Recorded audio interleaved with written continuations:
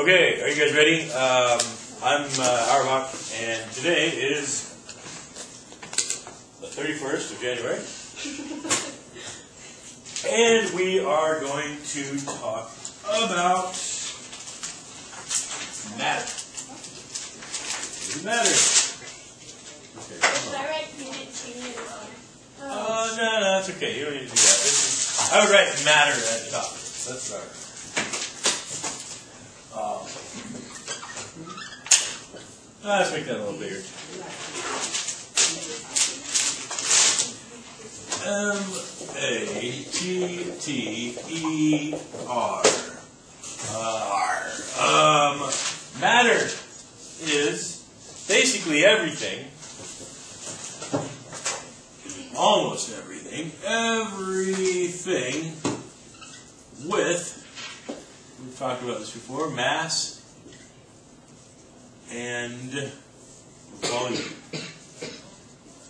Everything with mass and volume, whether that be a little puff of air, or a tree, or a coin, or anything basically that either weighs something or takes up space and that's matter. That's that's basically the biggest category of substances, uh, biggest category of stuff that there is. The only thing that's not included in this definition is energy.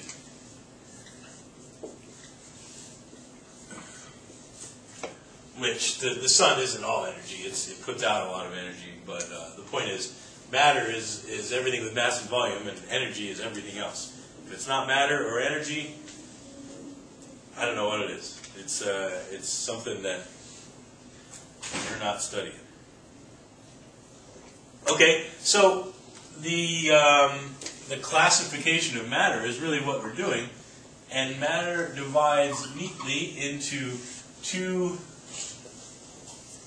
Excluding energy. Let me redraw that so you don't think I'm pointing to energy there. there. Matter divides into two things two types of matter. The two most general kinds of matter are.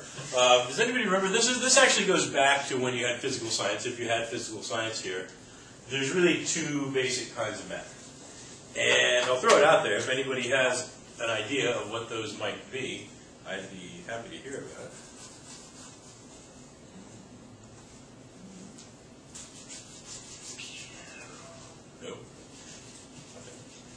Um, you can divide the whole world, the whole universe really, of stuff into two kinds of stuff. And the kinds of stuff are um, substances. And by substances, put a little parenthesis here. What we really mean by that is pure substances. Substances and mixtures.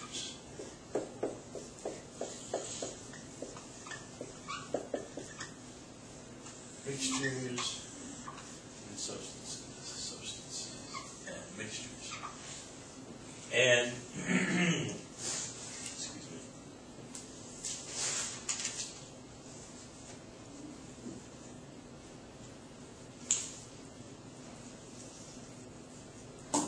And what you, how could you say uh, substances was a big theme of IPS versus mixtures? Substances have what we call constant composition.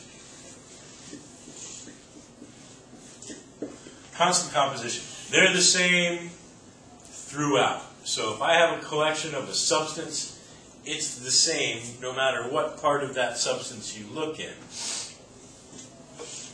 Um, and there aren't that many pure substances in the world. Well, there's a lot of pure substances in the world. The world is mostly made of mixtures, but um, there are pure substances, and there's two kinds. Well, two kinds. Uh, can anybody dredge up what those might be? And you, and you can. You've, you've thought, you've had these words before, I'm almost sure, so I'm going to put you on the spot a little bit, and see if you can come up with what kinds of substances are the same all the way through. They're they're not like a mixture of different things. They're they're constant composition. So you take from the first bit to the last, always the same. Dirt. Dirt. Now dirt's a mixture because dirt's got a bunch of different stuff in it. Water. Water is water is, is a type of pure substance. Yes, uh, one of these two, but but the, but it, water isn't an answer. It's a it's a type a type of substance we're looking at. I'll give you a hint. Liquid and solid. No, that's a good guess too. But um, we're talking about like water is a pure substance because it's H2O. Um, uh, another another kind CO2, uh, NH3 is is one. The yeah Is it chemicals and non-chemicals? no everything's sort of a chemical, but um, but, but yeah these are chemical what Chem- what do we call them chemical what they're there's a word that we would apply to these. Let me write here. Combos.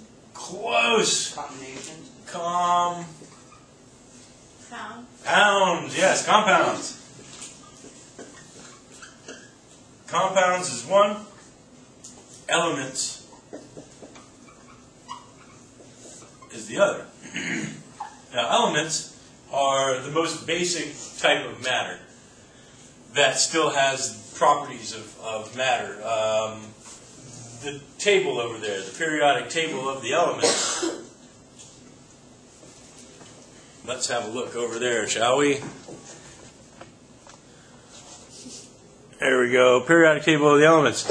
Everything from. Mm, Where are we here? Copper, Cu, silver, Ag, gold, Au, iron, Fe, helium way up there, uranium right here. Those are all com- those are all not compounds. Those are all elements. They're the building blocks of of compounds. Compounds are made from elements, but elements, what what they have, what what they are, is um, all made of one kind of atom. So any one element, like gold, it, gold, the element gold is all composed of one type of atom. Meaning, if I had a collection of gold, all the atoms in that collection are exactly the same kind of atom. Gold atoms, one particular kind of atom. Whereas, collection of arsenic or hydrogen, helium or neon, all the atoms of those are going to be the same too. What's it say after all? All composed, sorry, composed of one. God. T Y P E. One type of atom. I know, I write like a left handed monkey. Yeah, all right. One type of atom. And, and uh, I actually have my little element kit here that I'll give you. Um, this kit is, uh, is little jars and vials of uh, one particular kind of element. Like this is carbon, zinc, uh, magnesium, germanium, chromium. The, the point is, all of them are different, and um, the you can. I'm going to pass this around. You guys can look at them. These glass ones here. These are ampules. Notice there's one missing, and that's mercury because uh, mercury is uh, not allowed in the school environment uh, in any form, and so we got rid of this years ago. Uh, but the, these ampules all have slightly more harmful things, so please be very careful with them. Phosphorus, not so bad, except it ignites really easily. Um, iodine also would turn into a gas spontaneously if it were let out of this ampule, or at least it could. And when it did that, uh, it would be a lot like chlorine gas, like mustard gas, bad stuff. Um, same with this. Bromine, nope, that's arsenic. Definitely be careful with the arsenic. Bromine water. If this were to break, which it's not going to because you're going to be really careful, we will all get up and leave at the same time because it would make sort of a really choking type vapor. It wouldn't kill us all. This is a relatively small amount, but it would be enough to make everybody in this room cough for probably the next two or three hours um, and need medical attention, and we don't want that. So, and, and please, I don't care if you have enemies in this room, please do not try to take them out with the bromine water. Thank you. But don't they use that to like clean water? Yeah, yeah, it's, it, it, right, same with chlorine in your pool. They use chlorine to clean pools, they use bromine to clean pools, uh, and, and hot tubs and things like that. But that's in a salt form, in a solid form. If you were to actually have pure chlorine gas or bromine gas, that's, that was used as a weapon in World War One. Um, you don't want to do that. Um, okay, anyway, I'm gonna pass this around, just be, be careful with it, don't decide it would be fun to have it home, because it wouldn't. What do I do with You can just, you can just look at it and pass it on, it's fine. Or you can just pass it on. Yeah, I don't know. Um, So, so those are elements. The point is, all composed of one type of atom, like a gold bar. Gold bar, pure gold. I mean, there's a little bit of stuff mixed in with gold actually, but let's just pretend it's pure gold. If you looked at a gold bar anywhere in there, all you'd see was atoms that were gold atoms. Uh, compounds, on the other hand, as you can see, are a little different. Each of these letters is a symbol for a different element, and when you have a compound, you have more than one element, um, or at least you have more than one atom. You have two or more atoms, and they're not mixed together. They're actually they're attached to each other. I can't just pull them apart, and we call that chemically combined.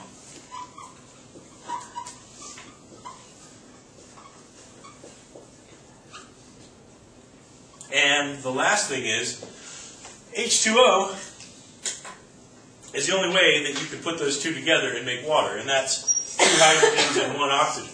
If you make something else, like H2O2, that's not water anymore. That's uh, hydrogen peroxide, the stuff in the brown bottle. Um, carbon dioxide, CO2, two oxygens per carbon. That's the only way you get carbon dioxide um, with its properties. If you had carbon and one oxygen, that's carbon monoxide. That's the stuff that will get you if you're uh, not careful about where you put your uh, generator, or if you decide to heat your house with your oven, or if you decide to heat your house with a gasoline generator inside your house, uh, or you know all those little permutations that we always end up reading about in the paper after it's too late. Um, anyway, two or more atoms chemically combined in a definite ratio.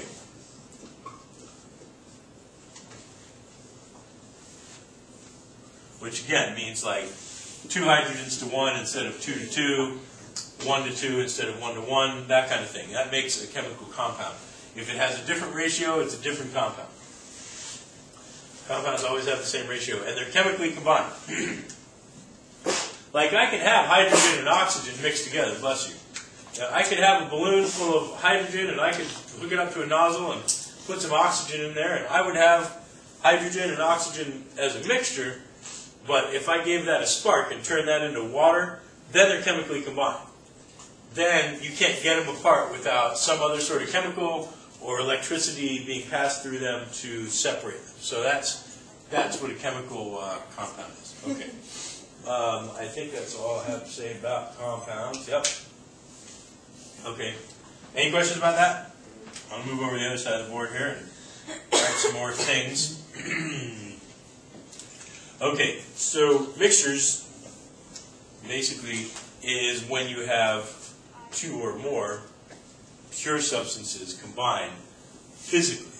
Um, so two or more substances physically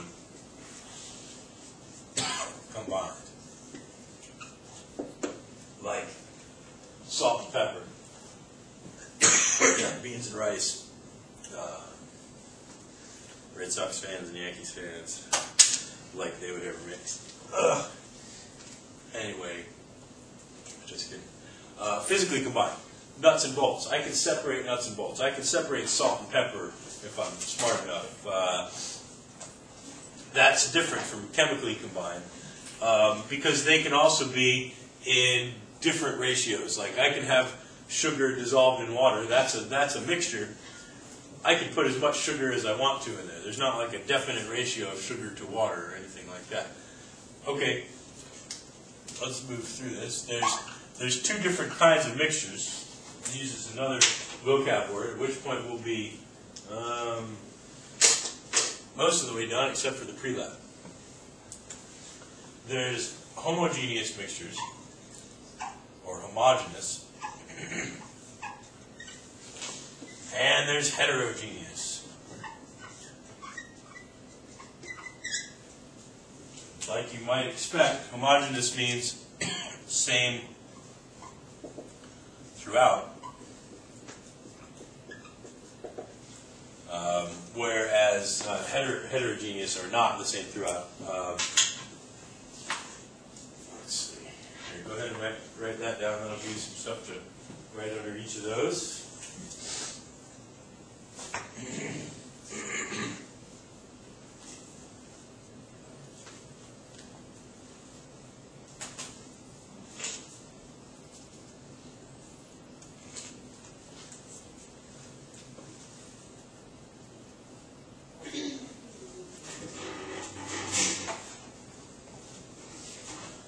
So, what's the word after same? Throughout, Okay, all the way through. Okay, the, uh, the, the, the concept that goes with this is the concept of the phase. Um, because a homogeneous mixture has only one phase, whereas a heterogeneous mixture has two or more phases. You might be asking yourself, well, what the hell does that mean? Um, let me give you an example.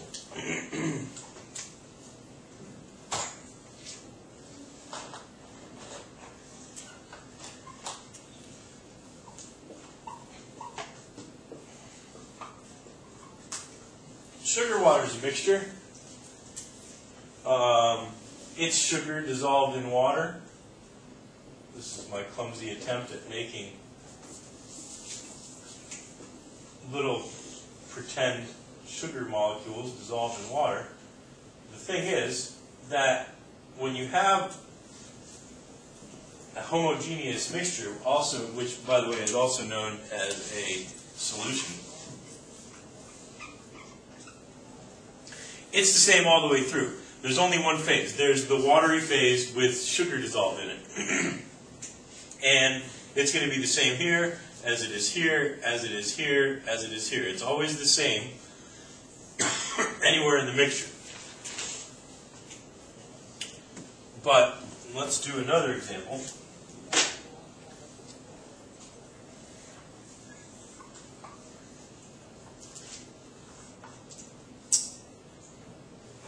Okay, let's look at cubes.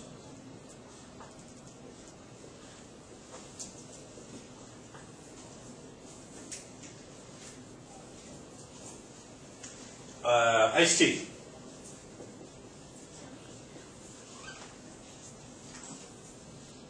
Iced tea. Um, in iced tea, you've got two different phases. You got your tea phase, which tea is basically a solution, by the way. Uh, you put a tea bag into water and it dissolves certain substances. But so you got your tea phase.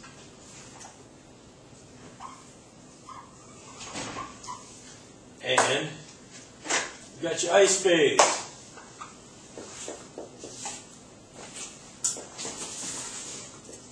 And a phase is basically just any separate part that's divided off from some other part. It's a pretty, it's a pretty uh, complex word for a simple idea. Just when you have something different, uh, you know, like uh, a pizza has the cheese phase, the crust phase, the pepperoni phase, um, and then so uh, so it's not like that huge of a concept. Uh, uh, chocolate sundae has the ice cream phase, the syrup phase, etc. Any anytime you have different things that have a, a, a definite division between them, like because you're either you're either in the ice cube or you're in the iced tea.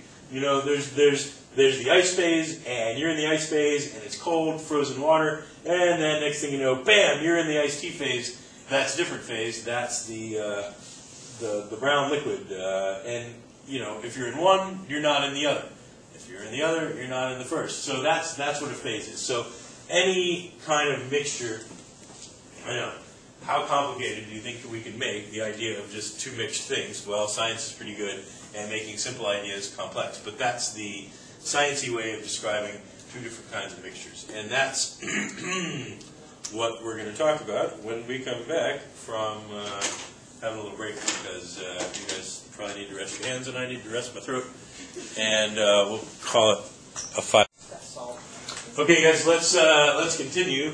There are. Um, I, I want to. I'm going to erase this side because I want to continue with a little bit of detail about these two types of solutions. So if you have room or a mixture, so if you have room under what you wrote, that's fine. If you don't, then start on another little section. But um, the um,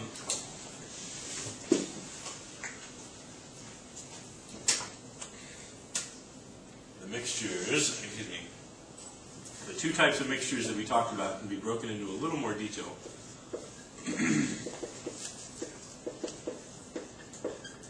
Homogeneous, not so much. Homogeneous mixture is always just a solution.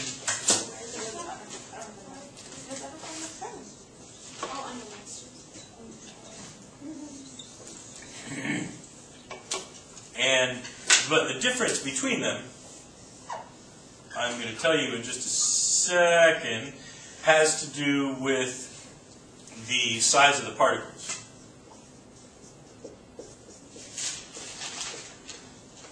So depending on what's dissolved or mixed with uh, the, mixed in here in these mixtures, God, I'm stumbling over my own words. Um, it's going to make it a different kind of mixture. So uh, a, a homogeneous solution has the smallest particles.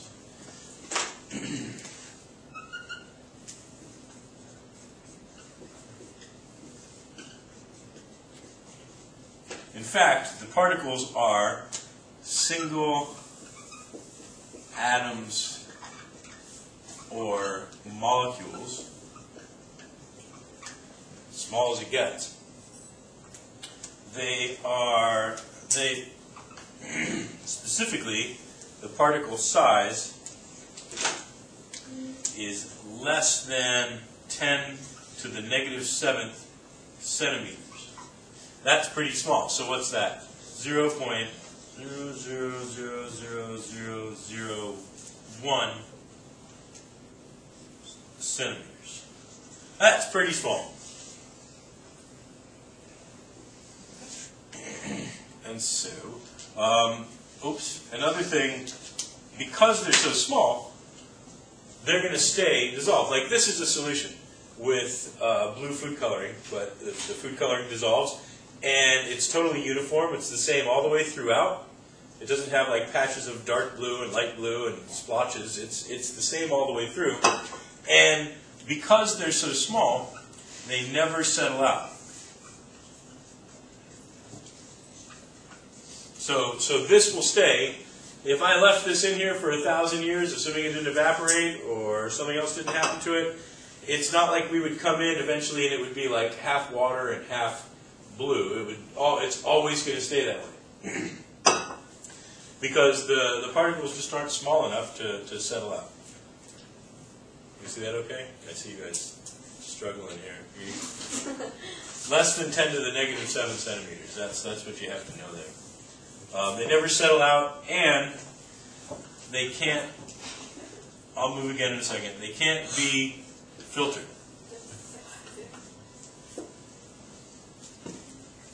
They can't be filtered out. So you can you can try to filter a solution uh, a million times, and it's just not going to filter out.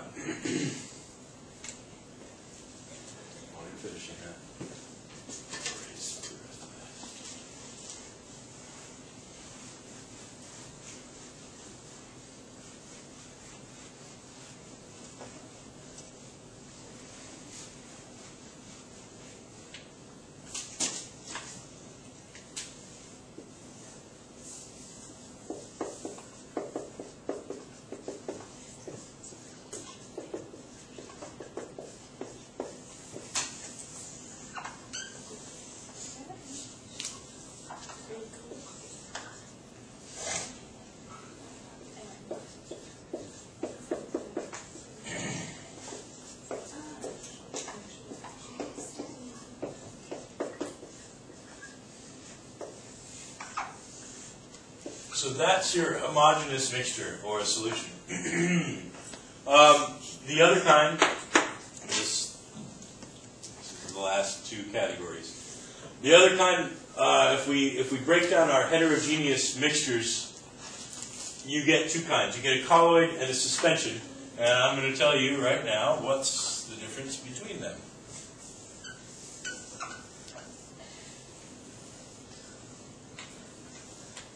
Uh, you know what? Hold on. I'm going to move this over a little bit.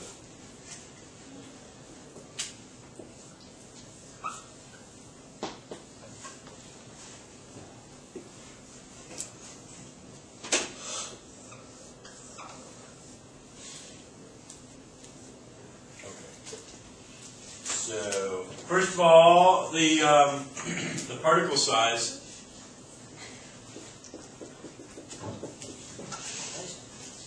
um, are, well, I'll start with the suspension.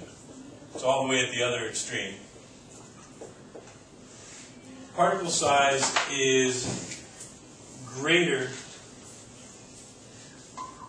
than 10 to the negative fifth centimeters. Now, just a quick check. 10 to the negative 7 centimeters is smaller than 10 to the negative fifth. When you're in the negatives, the higher your number, the smaller it is. So 10 to the negative 7 centimeters is about 100 times smaller than 10 to the negative fifth centimeters. This is just so you know. So that doesn't seem very big, but it's big enough that the particles won't stay suspended. They won't stay up in there. And this, this would be something like um, muddy water. Like, if you shake up muddy water, it's going to look pretty uniform if you shake it up, but then after it settles a little bit, you'll end up with sort of a kind of clear part and a kind of murky part, and you'll end up with a bunch of stuff settled on the bottom. That's what makes it a suspension. Um, particles settle out.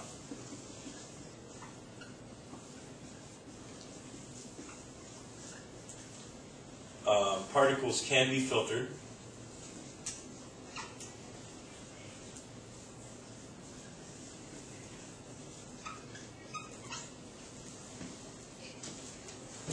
and they're bigger than 10 to the negative fifth. So they're, they're 100 or more times bigger than the particles in a solution. Go ahead, write, write it down in a rush here.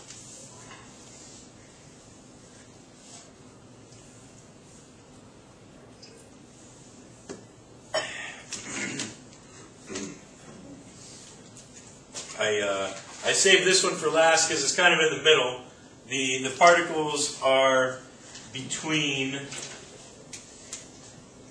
well, they're between. So they're, they're greater than 10 to the negative 7th less than 10 to the negative fifth. I don't know if I wrote that right. I don't know how you make those mathematical statements anymore, greater than, less than, in between. I never could figure that out, honestly. Um, but they're greater than this and smaller than this. And so they're like medium. They're the mama bear particles. Mm-hmm. Um, and what does that mean? Well, it means that they also are going to stay up. They're pretty uniform.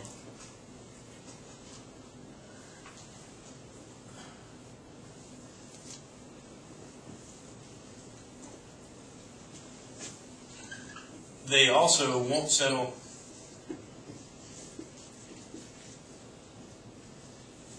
they can't be filtered, but they do they catch light, and that's. I'm going to talk. The, the last thing we have to do is kind of a pre-lab, which is mostly just this information, except for one more test that I'm going to show you guys that helps us tell the difference. So go ahead and get that down. Then we'll do our pre-lab, and uh, and then we're on the downward slope to being done. Don't worry, that much more.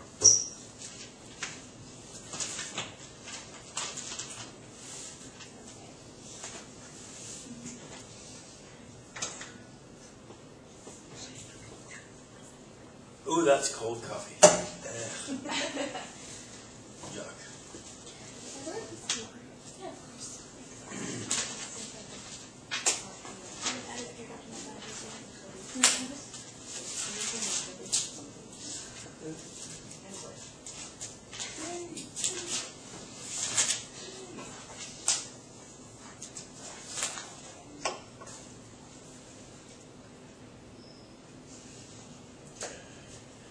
So I can go on. Yeah. All right. So I'm gonna. God. Uh, I just hate being sick like this because it just doesn't seem sick enough to take the day off. But it's really kind of miserable. Yeah, I'm gonna erase this whole thing. So okay, we're doing a lab.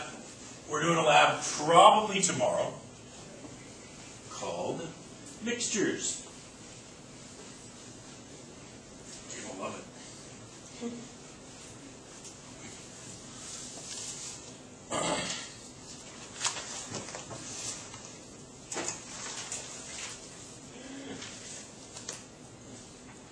Okay, so what's going to happen in the mixtures lab is you're going to get three or four different beakers, and you're going to put them through. Yes, ma'am. Is this gonna be in the lab section of our notebook? Uh, no, this can still be notes. This is this is notes. This is pre-lab notes. One of them will, at least one of them will be a solution. Another one of them will be a colloid or more, and at least one of them will be a suspension. And you're going to test three things clarity. In other words, well, how clear is it? You're going to test um, whether it settles out.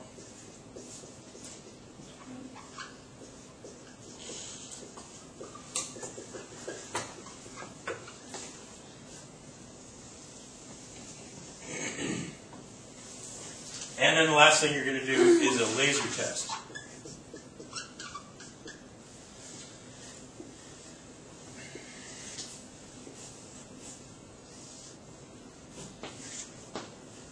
Okay, and so based on the properties that we've done here, at least two of these, you should be able to figure out what's going to happen. Um, oh, there's the ribbon.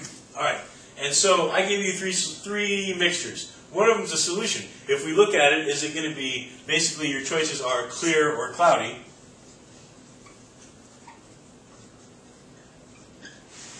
Uh, which is a solution going to be? Clear, right.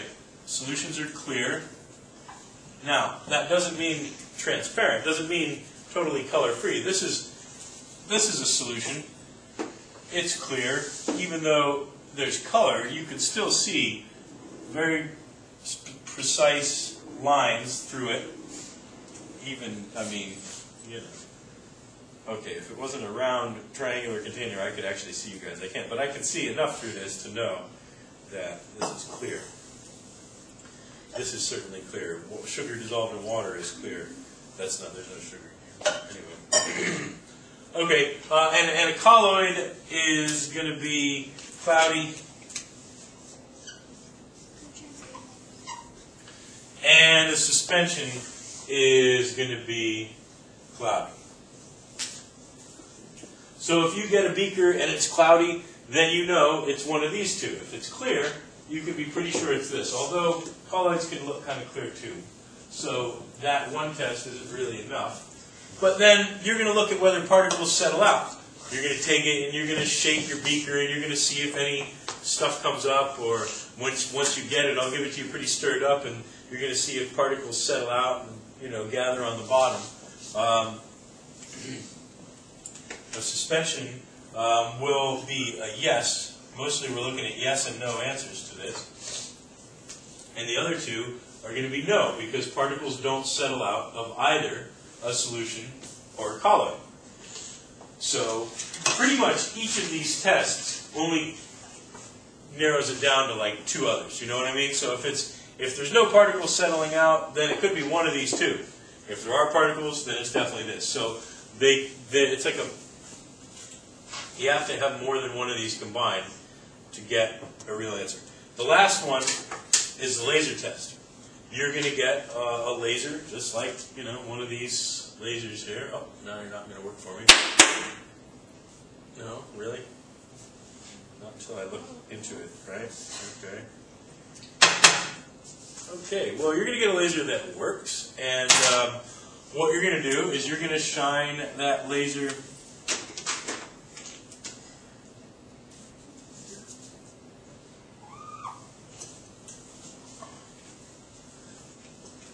and you're going to shine it into the beaker. And what's going to happen is, I cannot believe that this thing really doesn't work. It worked last while.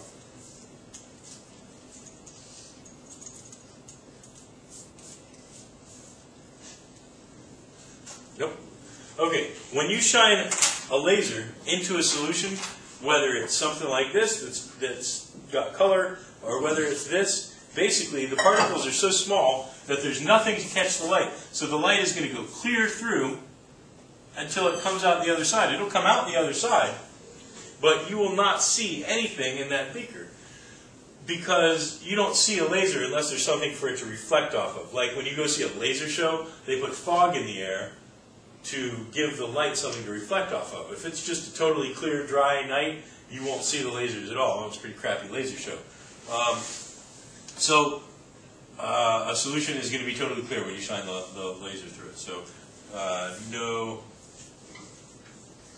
visible light. and the suspension is going to be the opposite. Um, eventually I'm going to carry this through all of these, but here's the uh, here's the suspension. The particles in a suspension are so big. Big are they?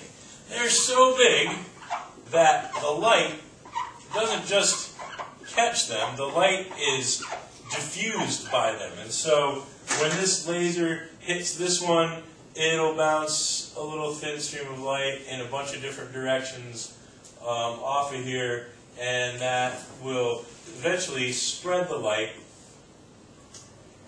throughout the beaker, making kind of like a swirly sort of uh, fog-like kind of thing. Like you see, like what a what a light looks like in the in the fog, like a, a headlight or a house light. It's like you can see it, but it's like got all this. It's not like a, a straight line of light. It's like a cloudy, foggy sort of mishmash of light. Um, that's that's what a suspension will look like as the light shines off of it. And then there's only one more. And this is the, the last thing. When you when you shine the laser through a colloid, the particles are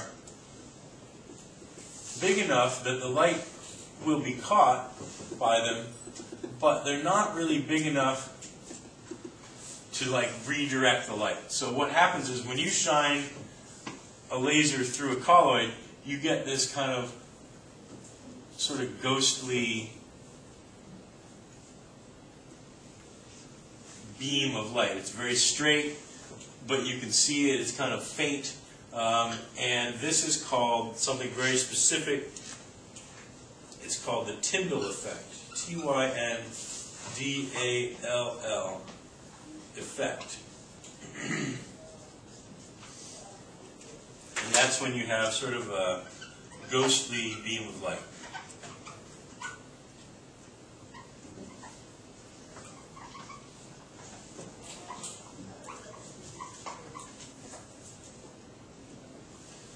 Ghostly beam of light. Um, and, uh, which I was going to show you using this laser, but now the laser doesn't work, uh, so I'm not going to you. So,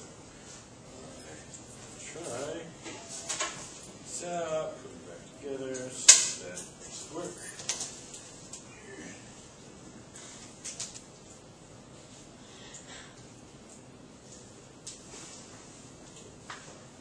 Yes, yes. Okay. Um, let's see. Here's a solution. Again, when I put this in here, um, does it come out? So much. This thing's gotten really weak. It's actually about to die on me. But nothing, you can't see anything in there. I'm going to go right to the uh, colloid. This should work as a colloid. If I shine the, oops, there's the, uh, if I shine that in there, do you guys see that? Uh, There's like a really straight beam that's visible through there. That's the Tyndall effect. Tyndall effect.